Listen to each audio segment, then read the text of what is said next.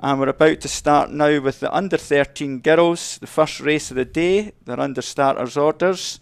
And away they go. And unlike previous years where it's a gun, it's now a new starting system, a hooter. And as you can see, the charge away from Callendar House in the background to reach the first hill. Memories of this, Kelsey? That's a big hill to start with. I think I got up the top of that hill and I was wondering where the finish was already. um, but brilliant memories from my time there as an under 13 really good turnout from the under 13 girls today. Numbers are looking really solid and a lot of different clubs in there. Um, as far as I'm aware, this is the most um, Scottish clubs we've ever had represented. 109 clubs represented at the um, championships here.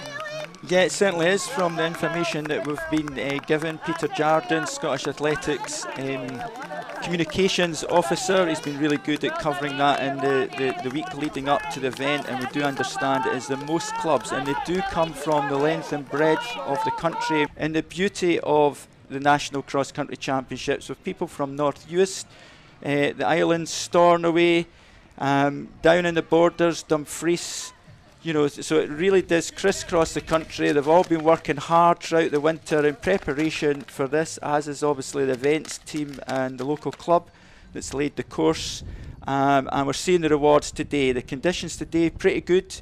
You can see the tape blowing there. It was pretty windy today, but in the whole it stayed dry and was just overcast. So it was decent conditions, unlike two years ago.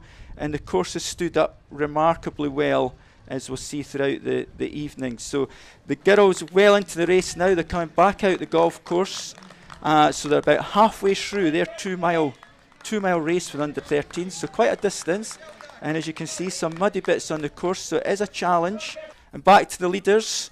And it's Inverness Vest in the lead that's Lois McCrae in the front from Inverness, the way that I would expect her to run, hitting it from the front.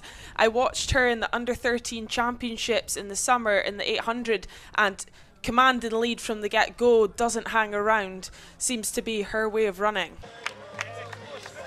So Inverness, Lois McCrae, strong and running. We now have a East Lothian athlete coming in as well in the top spot, Strathearn Harrier. Gilly Dallas. She's going to hold on.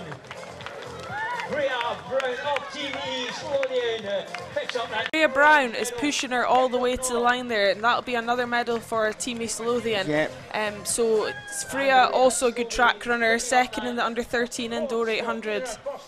And that's a Giffnock athlete coming Freya Scobie coming through now for Giffnock, who always do well in the team competition. And then that looks like Nancy Corey's come through really strongly there for Harmeny. So a few places changing. And then that's Emily Christie of Falkirk Victoria. So fantastic run by the local athlete there, finishing sixth. Lots of different vests coming through here. You know, we've got another Harmeny vest, and we're going to the medal presentation now. So in third place, we're going to have um, Freya Brown. Oh, we've got Ailey stepping up now. So there's Strathearn Harrier, Ailey Dallas. She was in silver, and we should have the winner away to step up. Lois McCrae, Inverness Harrier, and she's our winner for this year. Well done, So girls. there she is with the trophy and her medal and a picture of Callendar House in the background.